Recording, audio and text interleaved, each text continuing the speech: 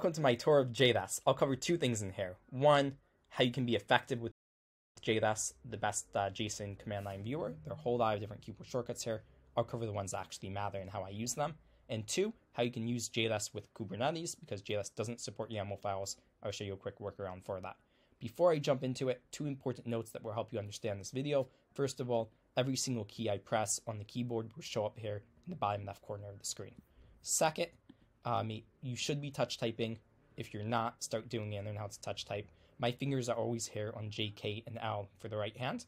And I'm going to be pressing the H key, which you can't see, but appears here a lot. So that's just moving my finger over from here to here.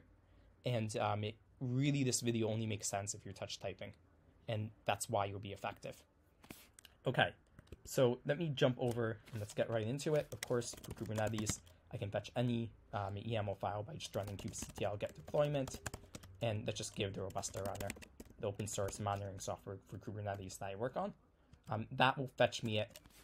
Whoops, I don't want that. That will fetch me it in a way that just shows me it to me like this in the terminal. And very often, what you're going to do here is you're going to press minus O YAML. This will get you in YAML. And then I have a big file here. It's a bit of a pain in the ass to go over. And there's a lot of crap in here too, like all of this, um, all the stuff here for uh, Fields V1. Um, it's kind of spammy and you typically don't want to see. And all the managed fields crap. Um, okay, so now what I want to do is I want to use jless and I want to just be able to collapse all the stuff that I don't care about and very easily go over this file. So first thing is, I'm just not going to output it as YAML, I'm going to output it as JSON. And that will let me use jless, and this will work for any Kubernetes resource. So all I have to do is just to run kubectl get name of resource, um, the type I mean, then the actual name of the resource minus OJSON. That will give me anything as a JSON file. Let's put that in test.json, and we'll jump right into jless. Okay, so now jless test.json. Now, first and most important command is I. I collapses and expands. This actually doesn't appear in the documentation. They might change the keyboard shortcut for this in future versions, but in my opinion, it's the most important thing out there. Now I can use the arrow keys to go up and down. Don't do that. Instead, you should be using J and K. J, just like in Vim, goes down one line. K goes up one line. 10J will go down 10 lines. 10K will go up 10 lines, and so on. Um, it, these are all Vim-inspired keyboard shortcuts, as are most things in uh, jless. And if I want to jump to the bottom of the file, I can press um, capital G. Going to go to the top of the file, that's uppercase G. And I can go up and down with J and K. So far, my fingers are all remaining on the middle line of the keyboard for both hands. Um, if I go over here and I look at this image, my fingers are all over here, and everything they've done so far is just moving around over here, except for I, where my finger from here goes up one. Okay, now I can use I to toggle.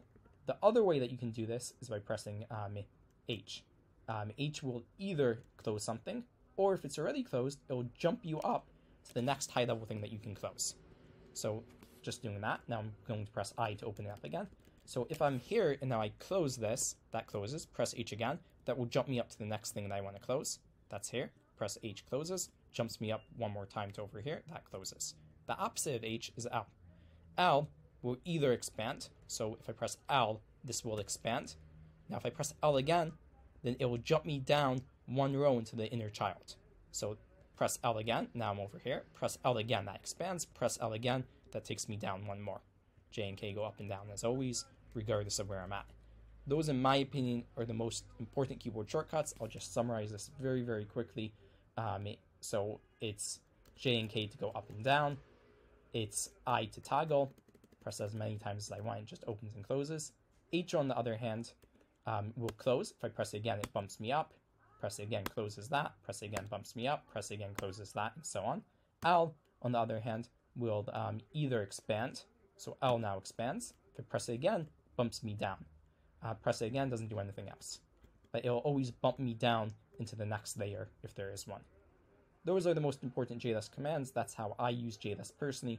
Great tool, I love it. The only problem with jless is that it doesn't support editing, which is why in my next video I'll cover Vim and Vim tricks that you can use um, to edit YAML files for Kubernetes. Now, if you don't know, when I'm not creating these videos, I work full-time in an open source project called Robusta. Robusta is the best way to monitor your Kubernetes cluster. I think we're the only solution that doesn't just show you problems, but we show you fixes.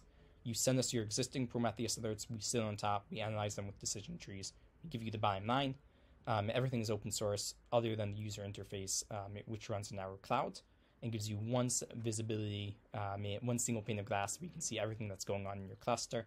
I'll cover this more in future videos, um, but if you want to support these videos, please check out. It really helps.